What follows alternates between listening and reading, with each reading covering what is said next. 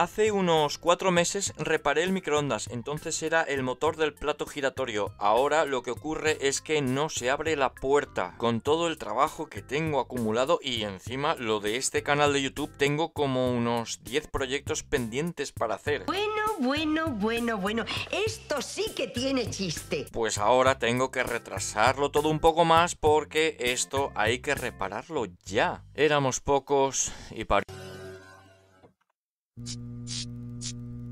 No seré yo quien critique al ingeniero del microondas, ingeniero o ingenieros porque este microondas lo tengo yo más de 10 años, bueno, yo diría que 15 años. Vemos que la pieza de plástico que hace de intermediario entre la apertura de la puerta y el pulsador se ha roto por fatiga. Claro, tanto tiempo de uso, pues esto podría ser normal. Y en este caso, si esto se rompe, pues no se puede abrir la puerta y no se puede usar el microondas, queda inservible. Tengo varias opciones para repararlo, pegando el trocito de plástico con pegamento fuerte o imprimiendo con mi nueva impresora 3D la pieza desde cero. Usando eh, pegamento sería más rápido, pero no sé si esto sería mm, muy duradero, ¿eh? no sé cuántos años podría aguantar pero ya que estoy grabando el proceso para el canal de YouTube, pues quedaría más vistoso hacer la pieza desde cero. Y de paso, pues sigo practicando el uso del diseño. Ah, mm, ya de paso repararé la luz interior del microondas, que la tengo abandonada eh, por falta de tiempo, y ahora pues aprovecho y le voy a meter... Vamos,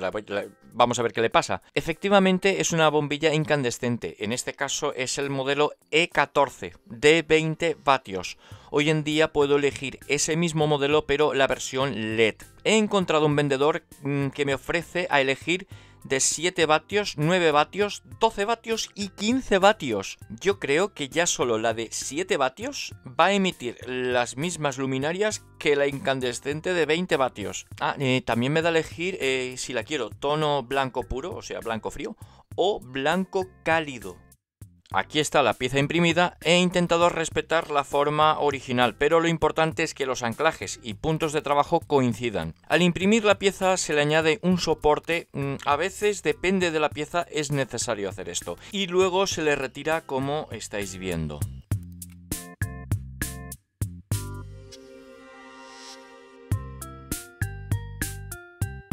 Intento colocar la pieza y no entra. Claro, la pieza rota salía bien porque el anclaje estaba roto. Con mi pistola de aire caliente voy a ablandar un poquito el plástico y así separar un milímetro y suficiente para que entre. Aparte es que el acceso para, para poder trabajar y poder meter las manos es muy complicado. Vaya hombre, ahora la parte alta que empuja el sistema de la puerta no llega del todo bien por un milímetro. Tengo tres opciones. Volver a imprimir la pieza con esa zona un poco más alzada, imprimir un trocito y añadírselo en la parte de arriba, o la que voy a hacer yo ahora, que es ponerle un pegote de silicona caliente y chispun catapún.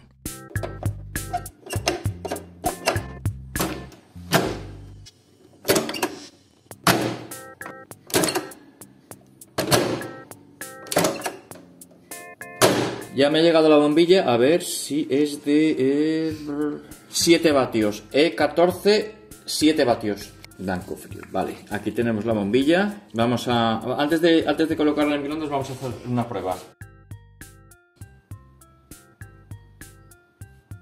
Vale, mira a ver la potencia. No, no, ahora ya no. Ya se ha fundido el fusible. se nos ha cortocircuitado. Las manazas, pues eso. Y el fusible, pues está... Eh, gris, gris perla. Vamos a poner uno nuevo para poder seguir trabajando. Y esto que tontería, y esto hay que tener cuidado de no cortocircuitarlo ahora cuando lo conecte. Un vatio, 6 nos han engañado. 1,6 vatios, no son 7 vatios.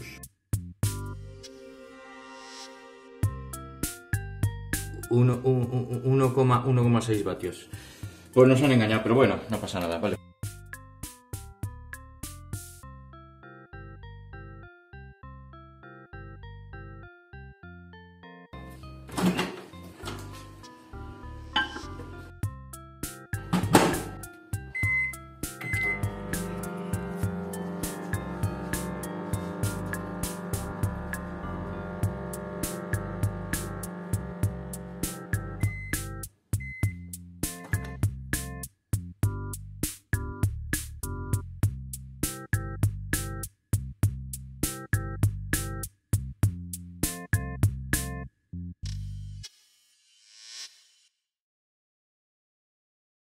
Eh, no tienes que sacarlo todo, tienes que sacar la- esto, nada más. O sea, imagínate lo cerca que tienes que estar.